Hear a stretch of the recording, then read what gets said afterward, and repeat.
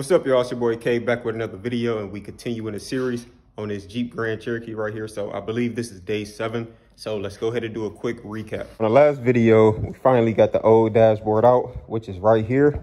And this is the reason why, why I'm wearing this actually. I split my finger on there, so you know I have to do what I got to do until I go get a band-aid. So the old dashboard is out, right? So let's go into the interior, check out the progress we made. This is the new dashboard. So y'all comment down below and let me know what y'all think of the new dashboard and the little trim piece that I put on there. And I personally, as of right now, it's kind of, uh, it's okay. But I believe it's going to be crazy once the seats go back in. Because as you can see, the seats are brown. And that little touch of brown up there is really going to make it pop. So this is the whole interior now. Got the new dashboard in. We got everything plugged up. Only thing we have to do is put the new airbag in we already put this new airbag in. Now we just got to put that airbag in. And the reason why we didn't do it last time is because, as you can see, it's burnt. So we had to cut it. And we got to do the same thing like we did to that one, which is splice it and just heat it up and put a new connector on there. So that's what we got to do to that. Also took the windshield out. So as you can see right here, the windshield is 100% out of the car. So that means we do have to make another trip to the yard and find another windshield and hopefully on the first try, we can get it out without cracking it. Because, you know, sometimes when you remove the windshield, it cracks. So hopefully we can find one. Hopefully we can bring it back to the shop with us. This video, we're about to go ahead mess with the front end. Well, some of it, right? So right now, what we really about to do, the first step, is clean up this interior. All right, so this thing is super dirty. We need to get our tools out of here, and we most definitely just need to go ahead and clean it. Like, look at all this dog hair, bro. See this? They got to go. So we got the trusty vacuum. We need to go ahead and vacuum and clean up this interior so that way we can fix this airbag and we can install the seats. One thing with the interior that we're probably going to have to do later because we probably, hopefully we can find it at the yard, but when we went last time, we wasn't able to find it. So hopefully we can find it the second time. So we need to find a seat belt. So this right here is a seatbelt, and as you can see, it's black. The one we was finding in the yard was all tan, so we need to find a black one.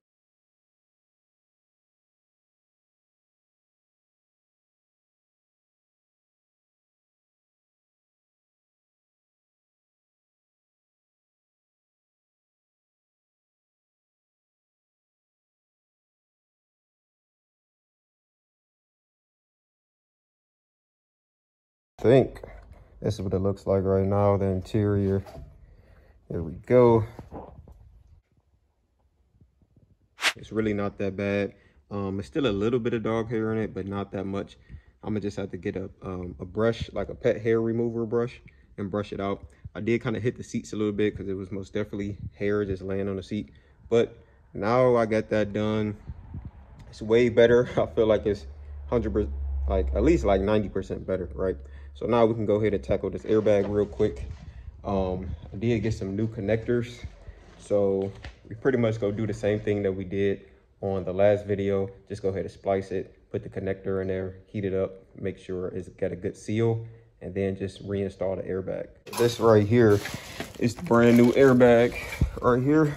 So as you can see, these are the connectors. Luckily, I uh, cut the connectors on this one because as you can see, we need it. So basically, it's already cut. And basically, what we're gonna do, just go ahead and remove these. Go ahead, splice it.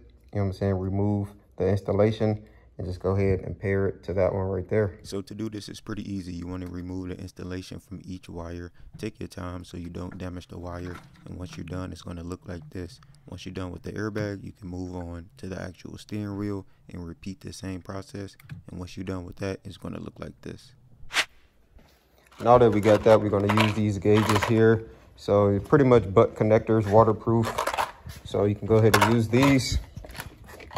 These are the uh, correct size, 22 through 16 gauge, right? So we're just gonna take them and basically, come on up out of there. Take one in and sit it here, right? Crimp it down, take the other side, sit it there, crimp it down, then we're gonna heat it up. But make sure you match the colors. So that's blue and red, blue and red, yellow and brown, yellow and brown. you could take the gauge and sit it on the wire itself and you need to go ahead and just crimp it down in place so it can be secure. Once it's secure you can heat it up a little bit for extra security. Once you're done with the airbag you can actually move on to the steering wheel itself and just repeat the same process and you should be done. So once you're done you guys it's basically going to look like this right here. Make sure you got everything connected which i do.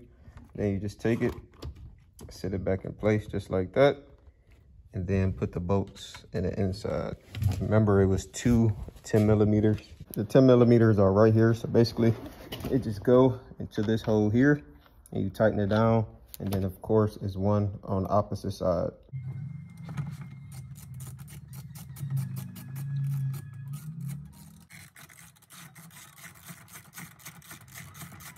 All right guys, there we go. We have the brand new airbag on. So how does it look? The interior actually looking like it's pretty much complete at this point. It's looking super good.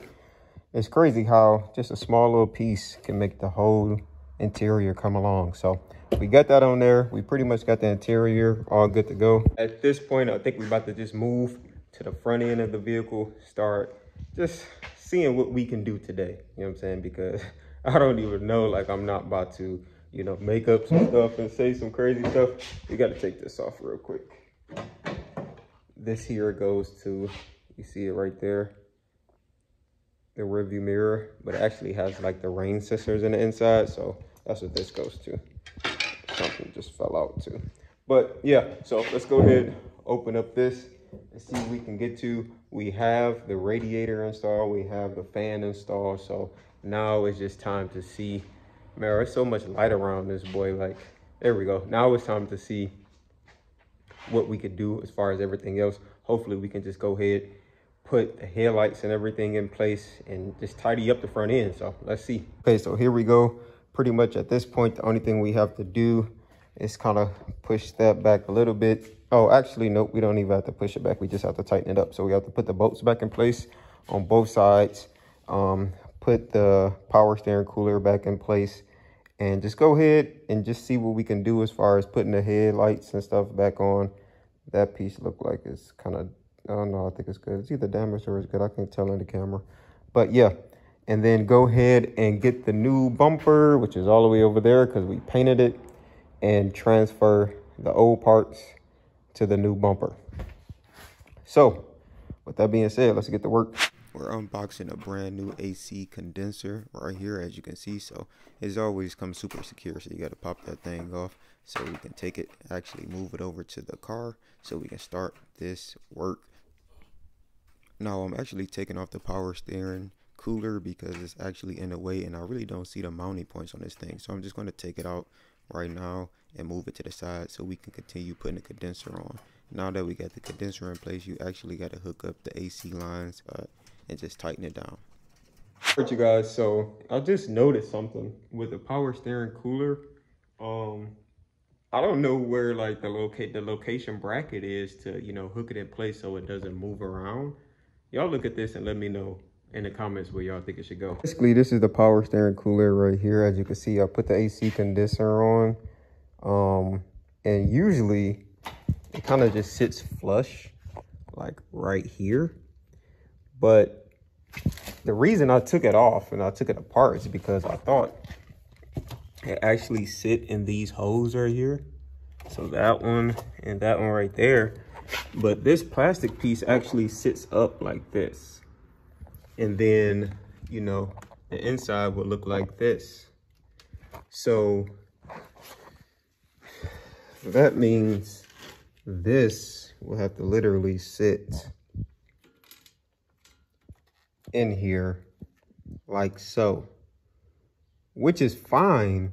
But so you're telling me these just poke into the AC condenser? It's kind of confusing to me because I really don't want to just jam that into the AC condenser because it's brand new. I just bought it and I just don't feel comfortable poking a hole in it. So uh, I looked it up online and it's pretty much looking like it's sitting flush on there. So I'm assuming that's what you're gonna do, but I don't know. I'm gonna YouTube it real quick to just look at some videos to see if somebody replaced it or repaired it before. and just see how they put it back on because of right now, I don't really feel too comfortable with just doing that because like I said, this is a brand new unit and I don't want to just poke a hole in it if you get what I'm saying. But other than that, I don't see any other mounting point. So y'all comment down below and let me know, you know, if you did a job like this before on a 2012 Grand Cherokee where the power steering cooler is mounted to. Other than that, we pretty much got a lot of stuff done so far. We um hooked up everything with the radi radiator and stuff. Then we put the condenser in there and got that side hooked up to the AC. Now we just got to hook that side up to the trans line. And then we just got to hook up this power stand cooler. But yeah, man, that's really tripping me out because it really looks like it just sit right here. But it's like it's no mounting point. So I don't want to just jam it in there. So I don't know, whatever. Everything else here is trash. Once I get done with that, I'm probably going to test fit the headlights just to make sure everything is everything. And of course, I got to put the coolant hose back on. This one goes right here. And then this side goes right here. And uh, yeah, I think that's it. The cap and everything else will be good to go.